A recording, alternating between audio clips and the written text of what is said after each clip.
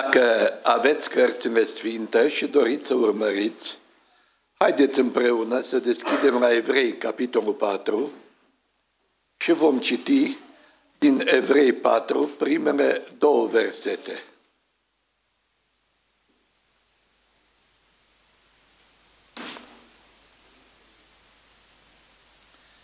Să luăm dar bine seama că atâta vreme cât rămâne în picioare făgăduința intrării în odihna Lui, niciunul din voi să nu se pomenească venit prea târziu.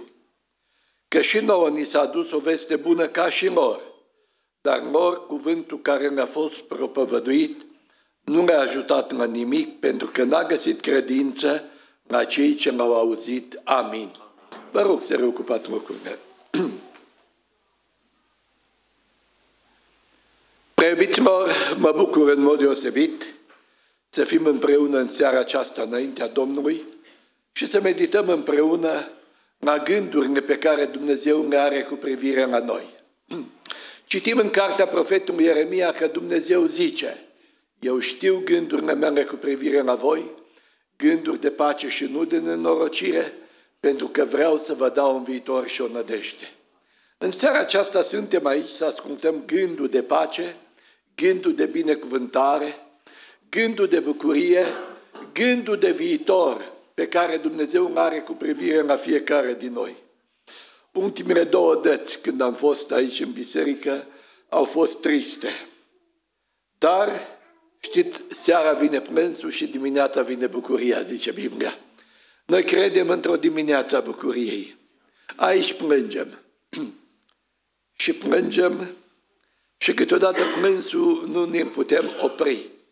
Plângem în întristare, plângem în durere, dar plângem și de bucurie. Au fost situații când am plâns de bucurie.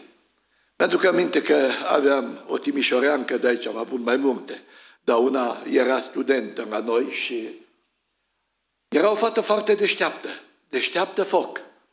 Dar de câte ori se anunțau rezultatele, o vedeam că plânge. Întreabă, mai fată, de ce plângi?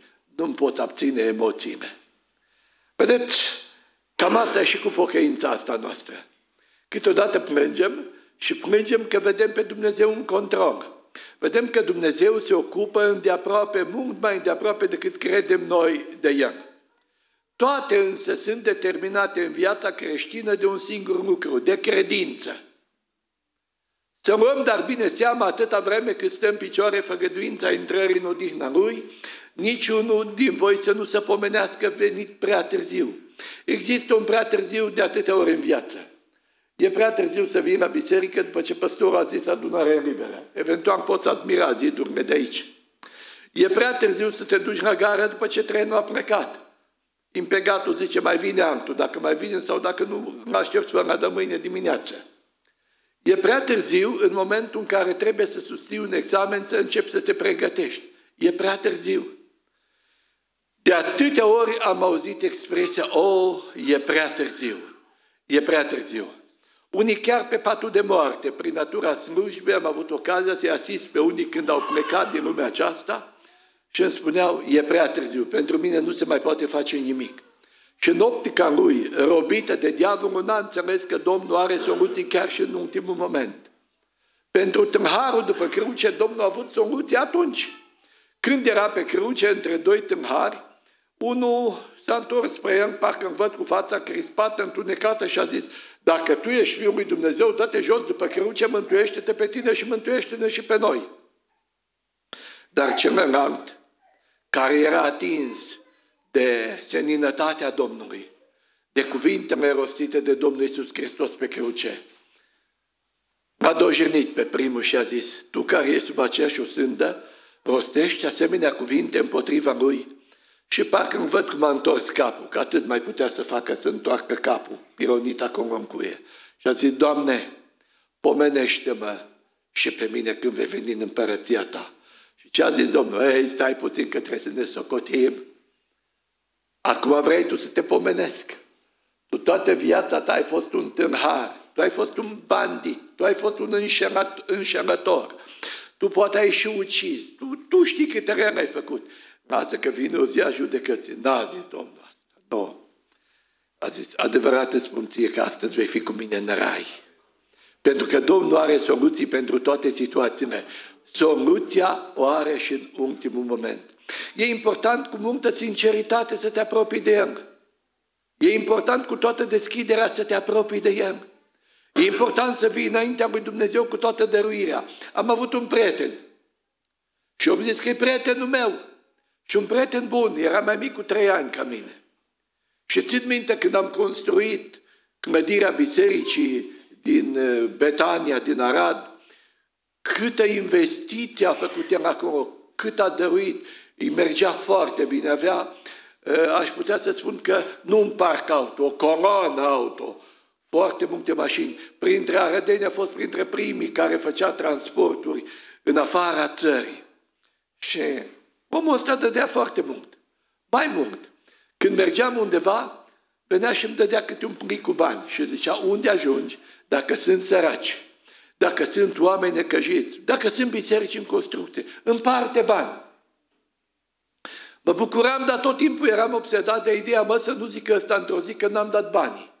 Și când mergeam și dădeam bani cuiva, ziceam, uite, dăm te rog o confirmare că ai luat banii de la mine și luam numărul de buletin, numere și pronumere și duceam. Ce credeți că făcea omul ăsta? Rupea imediat și nici nu vrea să se uite cu i-am dat banii. Zicea, nu, că mă voi întâlni cu toate acestea în cer. Dar într-o zi, într-una din zile, parcă văd era o zi călduroasă, m-a sunat soția lui și Angelica și a zis, nu vrei să vii până la noi?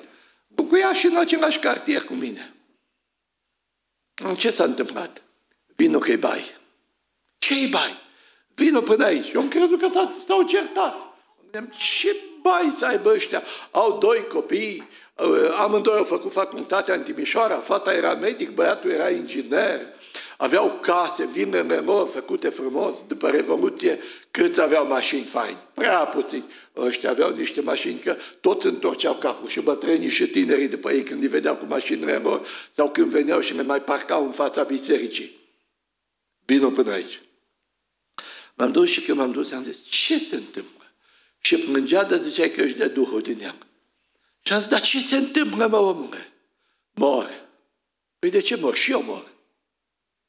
Tuturor oamenilor le este rânduit să moară odată. De ce te îngrozești așa? Nu, eu mor acum. Nu ți-am spus nimic până acum că mi-am făcut analizele, dar acum îți spun. Eu am cancer. Și pe surse am aflat că din stadiu 4, nevastă s-a știa, dar n-a vrut să-i spună. Sunt într-o situație foarte gravă, mor. Mor și mă duc în iad. Și am zis, bă, băiatule, cum te duci în iad, mă? Că dacă trebuia să număr primii 10 din biserică, printre ei erai 100%. Cum te duci în iad? Mă duc în iad. N-am făcut ce trebuia în viață. Dar ce trebuia să mai faci, mă, și n-ai făcut? Mă duc în iad. Și o ținea una și bună că merge în iad și plângea în hohote. Am lăsat să se descarce și după aia am zis, bun, hai să ne luăm pendelete. Angelica, voi vă rugați împreună? Da, ne rugăm. Cam cât vă rugați? Acum, eu mă rog mai mult, el mai puțin, că el pleacă dimineața, spune câteva cuvinte și pleacă și vine seara târziu. Bun. În casa voastră ce se servește? Păi nu se servește decât citrice și am ceva, nu știu, poate la el la servici, dacă mai fi serv, servit cu cineva, dar acasă nu. Și am început eu, ca medicul care vrea să pun un diagnostic, să tot pun întrebări. În cel de urmă am ajuns la o problemă. Bor că am făcut de toate pentru toți. Și pentru cine era mai important, n-am făcut. Bă, cine e mai important, mă, ca Dumnezeu? Păi în numele cui crezi tu că am dat eu banii care tu mi-ai dat? În numele meu sau în numele lui Dumnezeu? Cine e mai important? Da, așa este. Dar eu n-am făcut ceea ce trebuia. Pentru cine? Pentru copiii mei. Pentru cine? Pentru copiii mei. Ce trebuia să faci, mă? I-ai ținut în școli. În școli, nu orice școli. I-ai medic, el inginer, case frumoase, căsătorit, unul dintre ei avea și copii. Ce trebuia să faci? Mi-ai dat din câte știu eu tot ce a avut nevoie. Ce a fost mai important nu le-am dat. ce nu ne-ai dat, mai omule? Nu ne-am dat pe Dumnezeu. Și a intrat fică sa. Și a zis, ce te tot spovedești atâta la părintele? Acum te apucă regretele, în ultimul moment, diavolul a adus acolo. În ultimul moment te apucă regretele. Până acum ce ai făcut? De câte ori m-ai întrebat prin ce localuri sau prin ce baruri sau prin ce anturaje umbră fratele meu la Timișoara când eram studenți amândoi? M-ai întrebat vreodată? Nu, el a fost băiatul tatei. Pe mine de câte ori m-a întrebat dacă mor curtat niște băieți sau nu mor curtat, în ce relații am fost acum, niciodată nu ți-o păsat. Și acum, și el a zis, da, tată, mor că n-am făcut ce trebuie pentru voi. Am zis, uite, aș vrea să ne rugăm. Să rugăm pe Dumnezeu să te ierte. Să te ierte, Domnul te poate ierta acum. Și Domnul poate schimba toată situația. La Dumnezeu nu-i trebuie nici ani, nici luni, nici zile. Dumnezeu nostru e Dumnezeu clipitei. Zice, fiule, dăm inima ta și să găsească ochii tăi plăcere în căile mele. Și e gata să te primească. Și el a zis, nu, nu, sunt încuiat, ceva nu în ordine. M-am dus acasă și după două ore sună telefonul. Soția lui. Vreau să spun că a murit. Și a murit strigând. Mor că n-am făcut ce a trebuit. N-am dat fiilor mei pe Dumnezeu. Ei, în seara aceasta vreau să vă spun. Și am venit la Carmel să vă spun că foarte mulți oameni mor nu că nu mi dă nimeni pe Dumnezeu, că nu vor să-mi primească pe Dumnezeu. Darul lui Dumnezeu e viață veșnică în Hristos Domnul. Și asta și aici vreau să vă spun că există un prea târziu, după ce ai murit. Nu știi cum mori niciodată. Cei ce sunt pe front în Ucraina sau în Rusia nu știu când vor muri. Episcopul Carpov spunea că la Crăciunul trecut noi n-am colindat. Dar de ce n-ați colindat? N-a fost casă în care să putem intra să nu fie unul îngropat, unul pe front, unul rănit, unul în spital și n-am avut ce veste bună să ducem. Dar bun, voi vestea bună numai în așa ceva o aveți? Vestea bună trebuia să fie pentru toți, că Iisus Hristos trăiește. Că Dumnezeu e tot acolo unde l-a văzut Isaia. Și a zis, în anul morții împăratului Ozia, l-am văzut pe Domnul. Stătea pe scaunul lui de domnie. Pomele mântimului umpleau templu.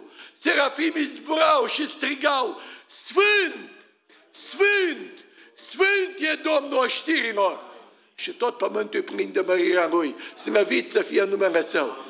Vreau să vă spun că e și la Carmen în seara aceasta. Trece printre rânduri. Se uită la tine dacă deschizi inima și dacă ești gata să iei aminte. Să luăm dar bine seama. Nu să luăm seama că trebuie să ne pocăim odată, nu. Să luăm bine și să înțelegem că acum este momentul. Să înțelegem că acum este mâna întinsă. Să înțelegem că astăzi este ziua scumpe suflete când Domnul te cheamă la mântuire, cântăm cântarea. Să înțelegem că astăzi trebuie să fructificăm ocazia. Să înțelegem că după ce au trecut toate posibilitățile și pârghiile de legătură Dumnezeu și l-a retras, e prea târziu. După moarte, pare foarte rău.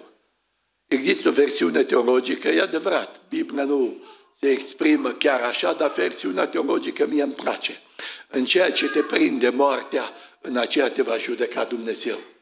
Dacă la moarte ai zis ca tâmharul după cruce, Doamne, adu aminte și de mine și te-ai rugat sau înainte de moarte sau în seara aceasta aici, ai harul mântuirii. Dacă nu, înțelege că ziua de mâine nu ți este asigurată. Să sperie oamenii acum de bombe cu fosfor, că astea topesc tot. Până acum s-au temut de bombe nucleare. S-au temut de bombe cu hidrogen, de tot felul de rachete. Să sperie, ăștia sunt oamenii.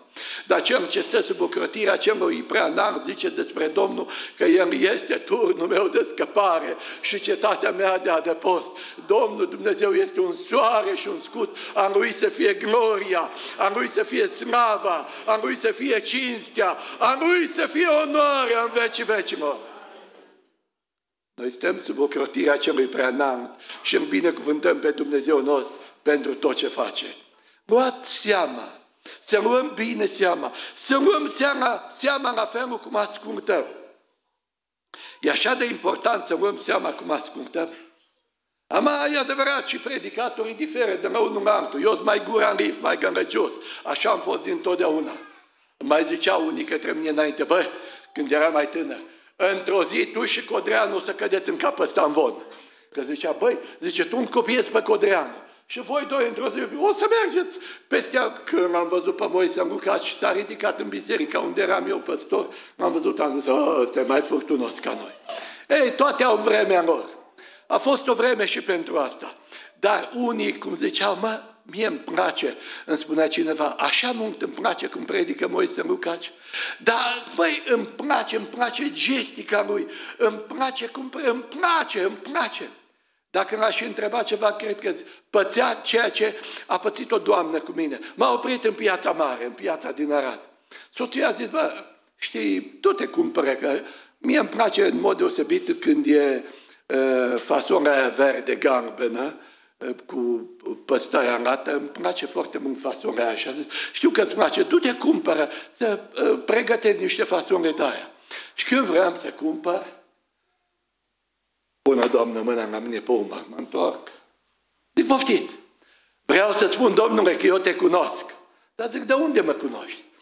Păi dumneata ai fost acolo vis-a-vis de noi, pe Nana Mercea, dumneata, ai slujit-o la mormântare, ai fost acolo, eu te cunosc, Domnule, așa mi-a plăcut. Și am lăsat-o să spună ea ce cât de mult i-a plăcut. Am zis, Doamne, dar tot n-am înțeles o treabă.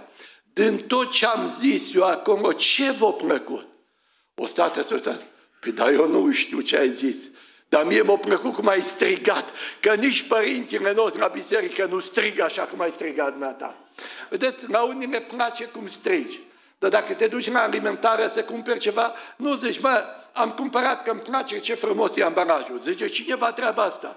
Ambalajul are valoare până acasă și apoi mai aruncat. Conținutul rămâne.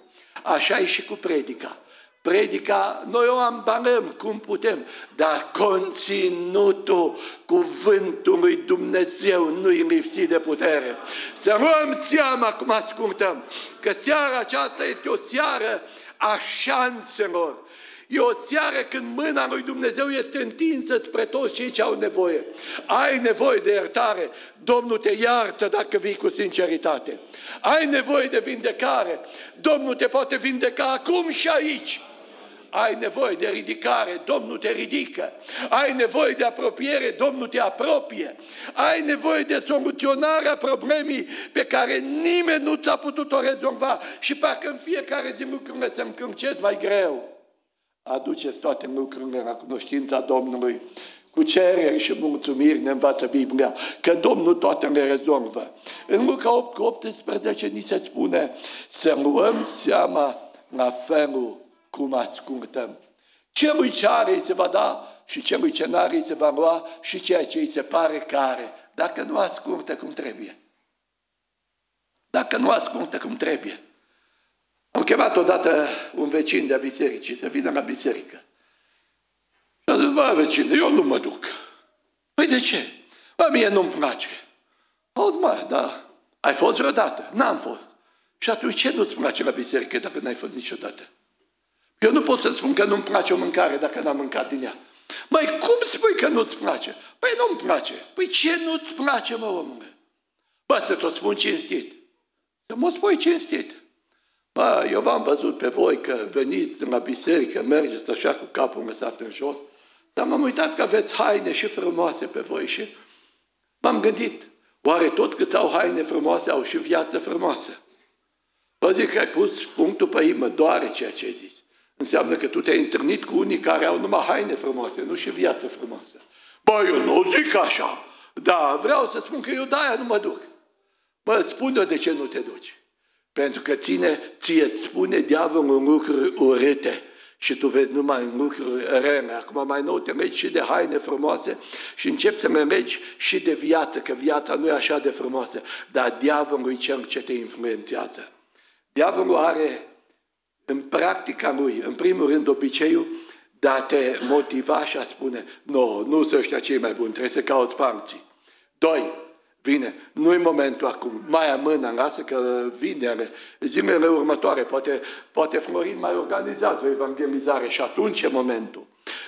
Vine diavolul și zice, mai încă ești în putere, știi, ai de rezolvat niște probleme. Și după aia, după aia se rezolvă. O doamnă din Arad care e judecător. Am cunoscut-o foarte bine, am cunoscut familia, de câte ori o chemam să vină la biserică, îmi spunea, nu, prima dată, știi, domnul pastor, trebuie să mă căsătoresc și eu, să-mi fac familie. Mai poate te căsătorești în biserică dacă vii. Nu, eu nu mă căsătoresc cu oricine. Opa!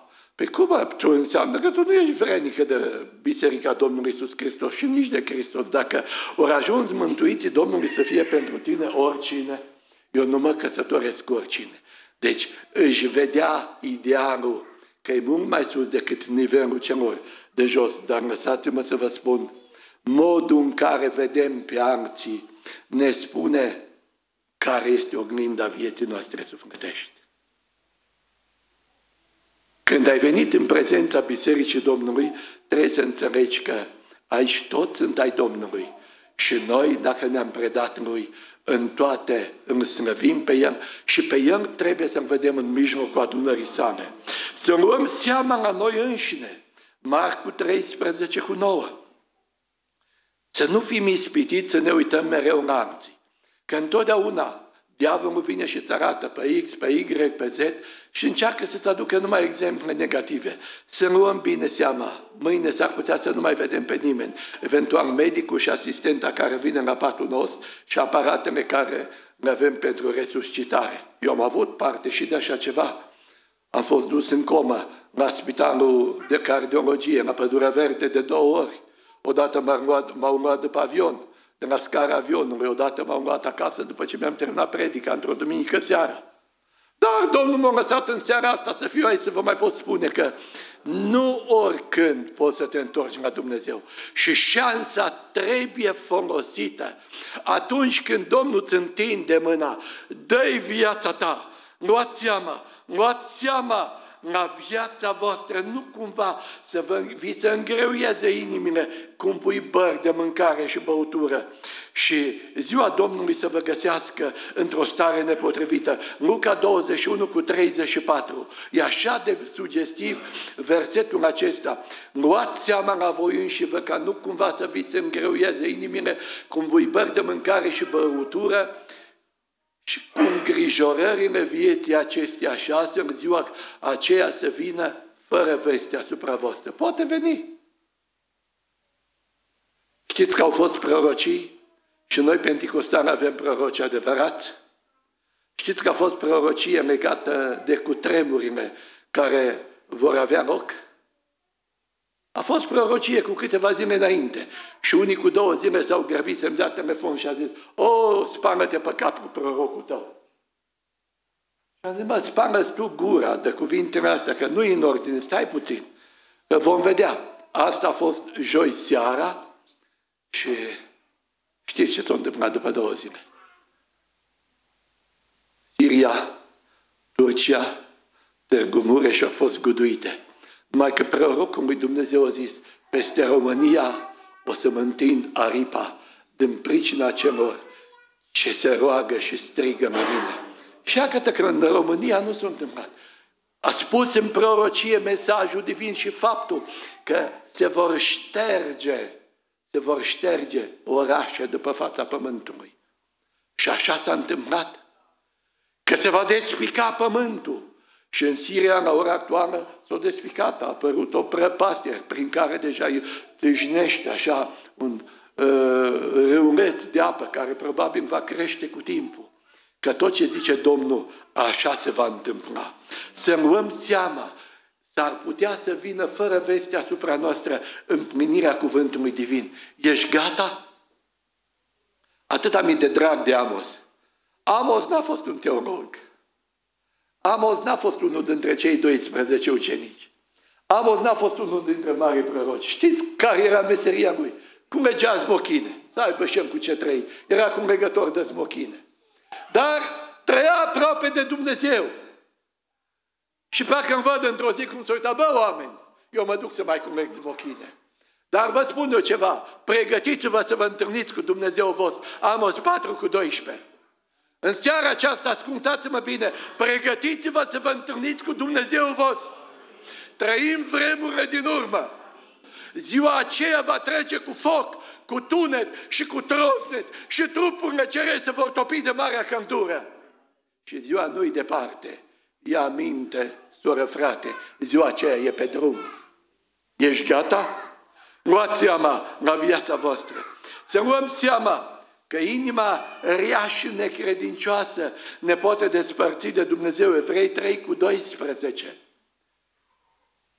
Suntem tentați să nu credem.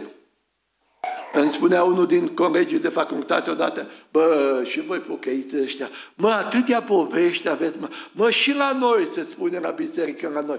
Dar la noi nu se spune, mă, voi câte povești aveți, măi. Am zis, băi, vreau să spun ceva. Poveștile sunt legate de trăiri și trăirile de povestitori. Și dacă spunem, nu spunem nimănui spre distrugere, ci spre ridicare. Dacă e să spunem că a fost un povestitor, cel mai mare a fost Isus Hristos. Când a fost pe malul mării, mi-a spus povestea cu năvodul. Când a fost la țarină, mi-a spus povestea cu cel ce a ieșit să samene. Și Domnul, pentru toate situațiile, a avut și are Biblia, așa cum a pe paginile ei consemnate, o mulțime de întâmplări. Nu sunt povești, sunt realități la care trebuie să ne gândim. Să luăm seama la neprihănirea ce avem. Matei 6, zice Domnul, în uh, Matei 6, să luăm seama asupra vieții noastre și asupra neprihănirii care o avem. Știți, câteodată, Matei 6 cu 1, mi-a scăpat să vă spun versetul, luați seama să nu vă îndepliniți neprihănirea voastră înaintea oamenilor ca să fiți văzuți de ei. Aminterea nu veți avea răsplată de la Tatăl vostru care este în cer. Să luăm seama ce neprihănire avem noi. Știți că tot Domnul zicea, dacă neprihănirea voastră nu uh, depășește neprihănirea cărturarilor și a fariseilor, cu niciun chip nu intrați în împărăția lui Dumnezeu. Acum, care era neprihănirea cărturarilor și a fariseilor? Dădeau zeceană din mărar, izmă și chimen și posteau de două ori pe săptămână. Eu am crescut într-o biserică foarte conservatoare, mai conservatoare ca voastră de Bucovina. La noi în biserică trebuia să postești de trei ori pe săptămână ca să depășești neprihănirea cărturarilor și a fariseilor. Și te întreba de când, după ce ai depășit 14 ani, te lua păstorul la întrebări. Cum ți-ai rezolvat problema vieții din săptămâna asta cu Dumnezeu? Cât te-ai rugat? Cât ai postit? O să vă râdeți, domnișoarelor, dacă vă spun, nici drept la căsătorie. Păstorul Sighete zicea, nu aveți. Până nu sunteți botezate în apă și cu Duhul Sfânt, nu aveți drept la căsătorie. Era lege. Și eu mă gândeam, eram așa un adolescent, zicea, bă, dar ce ăsta e Dumnezeu, mă? Ăsta stăpânește peste noi chiar așa? Dar în rigiditatea și dorința lui de a apropia pe oameni de Dumnezeu. Am, e adevărat că mie îmi plac cântările și am și întrebat, frate, din ce biserică ești? Mi s-a spus că ești din la Moșnița. Îmi plac, așa mi s-a spus, nu știu. Îmi plac cântările și noi avem și fanfară și cor. Îmi plac toate. Dar nu asta e neprihănirea noastră. Asta e roada neprihănirii în viața noastră. Neprihănirea noastră a fost, este și rămâne Iisus Hristos. El, Hristos în voi, nădejdea slavei. Dacă El nu e în noi, nădăjduim degeaba.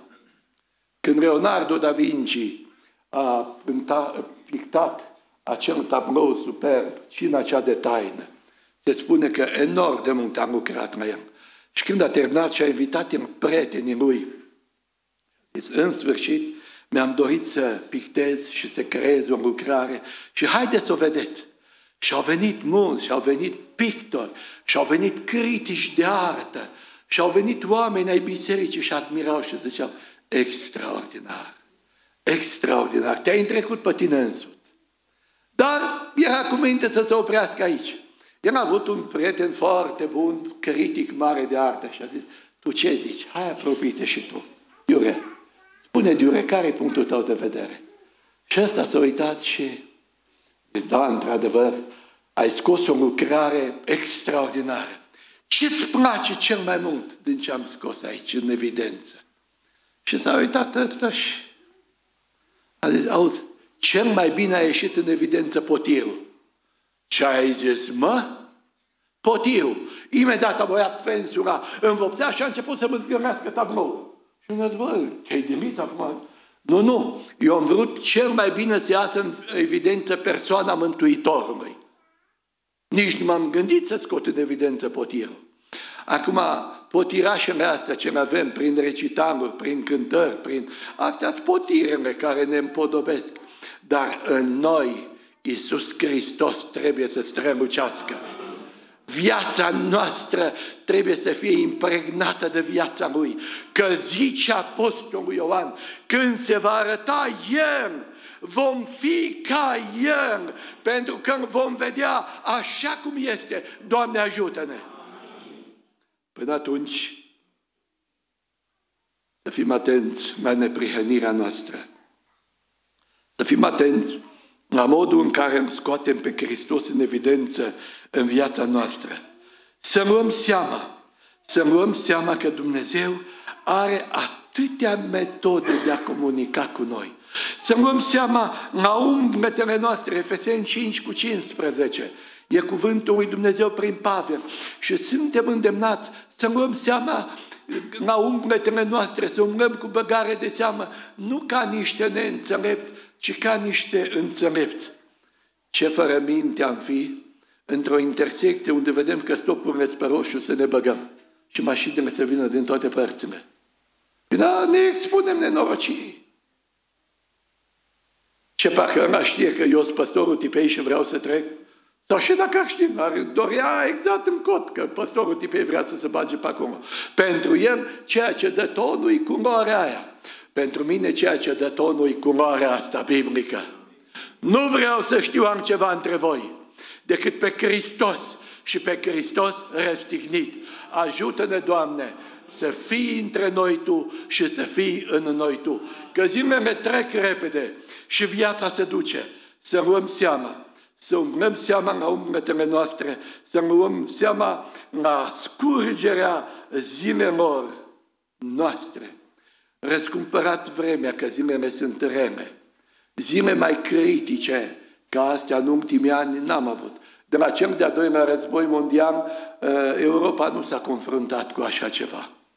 Știți că unii vor să se sinucidă? Știți că o doamnă a venit la mine și mi-a zis, auzi, hai spunem, eu vreau să-mi pun capăt zilelor. Sunt așa de stresată, nu mai pot să mănânc, nu mai pot să dorm, nu știu, parcă numai cuțite trec prin mine, parcă cineva mă înțeapă cu ace multe, crezi că fac o greșeală dacă îmi pun capăt zilelor. Dar numai diavolul ți-a spus treaba asta. Nu, no, uite ce se vorbește despre războiul dintre Rusia și Ucraina aici la granițele țării. Am și eu copii ăștia care avea niște copii și mă gândesc la ei. Dar știi ce m-am gândit? Știi, bărbatul meu m-a abandonat, eu cresc copiii ca vai de capul meu și dacă tot am mai acceptat să mai trăiesc, numai din cauza copiilor. Dar uite, acum m-am gândit să fac altceva. M-am gândit să le dau niște medicamente, o să găsesc o modalitate nedureroasă, să-i termin pe ei prima dată și apoi să mă spânzur și eu. M-am uitat în ea și am zis, mă, satana a venit chiar în persoana asta să discute cu mine. Bă, femeie, stai pe scaun, că stăteam în picioare. Hai să stăm de vorbă. Dacă cineva vrea să te spânzure mâine, nu te spânzura tu astăzi. Așteaptă până mâine, că poate să rupe funia până mâine. Sau poate moare cămău. Sau să schimbă ceva până mâine. Nu încerca tu să forțezi nota. Gândurile astea nu sunt gânduri bune, nu sunt nici gânduri umane, nu gânduri de la Dumnezeu. Și am început să stau de vorbă cu ea, cred că am vorbit mai mult de o oră și jumătate cu ea. După o oră și jumătate, tot era în lac de apă, curgea apa pe ea. Și a zis, mă duc acasă. Să știi că fac exact ce mi-ai spus. Mă rog în fiecare zi de 5-6 ori și citesc, din ochi eu am spus, citești două capitole din Nou Testament și doi psalmi în fiecare zi. Și să vezi că te eliberează Dumnezeu de Duhul ăsta. M-am bucurat când după două săptămâni mi-a spus, să știi că nu mă mai gândesc la sinucidere, dar frică încă tot am. Mai încă tratează-te când te-ai dus la doctor, nu după prima pastilă te-ai vindecat. O trebuie să mai iei 3-4 zile în șir, mai tratează-te, mai citește Biblia, mai rogă-te și lasă că Dumnezeu știe ce are de făcut. Oamenii sunt așa de stresați încât în răutatea asta a zilelor de astăzi văd că nu mai e nicio șansă. Și soluția pentru mulți ar fi să se termine tot. Tatăl meu a fost în cel de-al doilea război mondial și îmi spunea, mai, eu am văzut oameni în cel de-al doilea război mondial care s-au împușcat ei pe ei înșiși.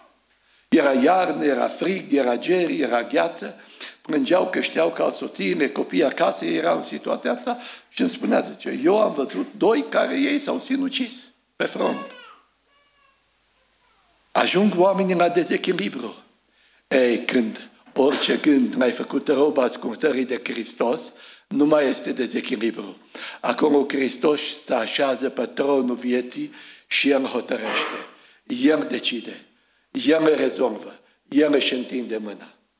Totul trece iute, într-o zi ne ducem. Dar important este să ne ducem acolo unde trebuie. Să luăm bine seama. Să luăm seama că în scurgerea zilelor Domnul ne oferă atâtea șanse și să fructificăm, să fructică, fructificăm ziua, să fructificăm ora, să fructificăm minutul, să fructificăm șansa și să ne apropiem de Dumnezeu. Cei ce l-ați cunoscut, cei mai în vârstă, pe Richard Wurmbrand, Petrică, cred că tu l-ai văzut, că tu ai știu pe toți boșii ăștia. Uh, pe Richard Wurmbrand, ăsta spunea că atunci când a fost în închisoare la Târdu Ogna, a avut o experiență extraordinară și a zis, n-am fructificat-o. Am fost în aceeași celulă la Târgu Ogna cu staretul unei mănăstiri Iscu, se numea el, staretul Iscu, și spunea că așa era privit ca un sfânt omul ăsta. Veneau oamenii din toate părțile la el să spovedeau, să mărturiseau, se ruga pentru ei și plecau liniștiți. Ei, erau căței de la securitate în vremea aceea care vreau să știe cât mai multe de fiecare.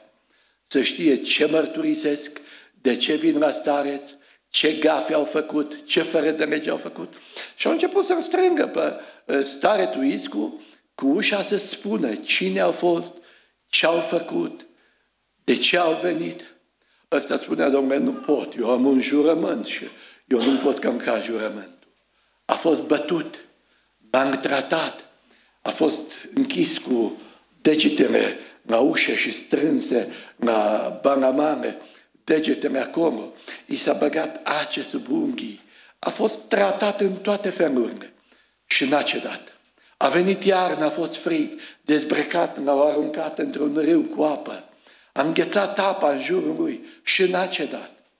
Și a ajuns să se îmbolnăvească, să facă o pneumonie, a ajuns la tuberculoză și stătea stare tuisc întins pe pat și sufla foarte greu. A ajuns Wurmbrand coleg cu el de celulă. Și spuneau frate unul la altul și Wurmbrand putea să meargă și mergea de la patul lui până la stareț și discutau. Și ăsta zicea, abia aștept, frate Wurmbrand, cum vorbesc cu tine să vorbesc cu Domnul Isus? Să știi că și azi noapte a fost la mine în vizită. Și Wurmbrand era mirat de ceea ce spunea starețul Iscu. Dar toată bucuria lor a fost umbrită într-o zi când s-a deschis ușa la temniță și cine a intrat? Generalul torționar Voiculescu. Cel care i-a chinuit pe amândoi, cel ce a bătut pe amândoi, cel... Făcuse și asta niște znove și l-au condamnat. Și tocmai cu cei care au fost torționați de el, torționarul a trebuit să stea cu ei în aceeași celulă. Generalul s-a aștepta la rebeliune, la răscoală în celulă, să se ridice ăștia împotriva lui. Erau mai mulți acum deținuți. Nu s-a ridicat nimeni. L-au izolat. La un moment dat, Wurmbrand i-a spus într-o zi, pocăiește-te că Domnul te poate ierta, pocăiește-te că Domnul are soluții și pentru tine, pocăiește-te că Domnul poate să te spere în sângele său, Mântuitorul și asta îți face curățirea. Și a ascultat generalul, dar nu prea l-a băgat în seamă. Într-o zi a început o tusă convulsivă și îmi termina pe general. Și noaptea, prin somn Wurmbrand, aude o voce. Pastore, pastore, rogă-te pentru mine. Nu mai am aer. Era generalul, îmi striga. Dar Wurmbrand a țipit din nou. Auzit iarăși, pastore, pastore. Și când a ridicat capul de pe patul lui, așa bolnav, așa cu un picior în gropă, așa chinuit. Starețul Iscu a fost ridicat de doi deținuți și dus pe sub braț până la patul generalului. Starețul și-a întins mâinile pe capul lui și a zis, Doamne, eu l-am iertat. Știu că Tu nu ești mai rău ca mine. Iartă-mi și Tu. Vreau împreună cu El să plecăm spre cer.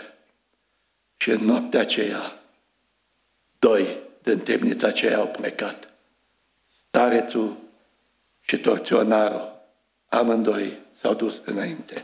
A apărut și o carte cu Dumnezeu în subteran scrisă. Eu l-am auzit pe, pe Wurmbran povestind ieri într-o familie, în Trossingen, povestea la o familie de frați germani. Povestea toată situația asta. Și a zis, eu am ratat ocazia. Am vrut să mai dor puțin, dar s-a ridicat starețul Iscu, așa dus de arți până acolo și a făcut ultima mișmocire pentru cândăul ăsta. Eu nu știu care e ultima mijlocire, ce se face pentru tine, dragul meu. Știu însă că în seara aceasta ești aici și Dumnezeu îți spune, ia bine seama!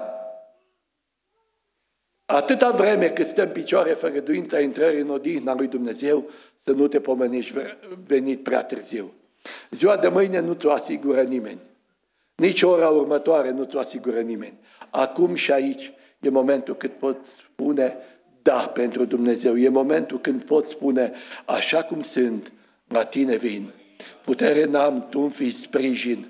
Mă spangă în sângele divin, o mielule, eu vin, eu vin. Și lor mi s-a dus o veste, ca și nouă, zice autorul epistolei, adică evreilor.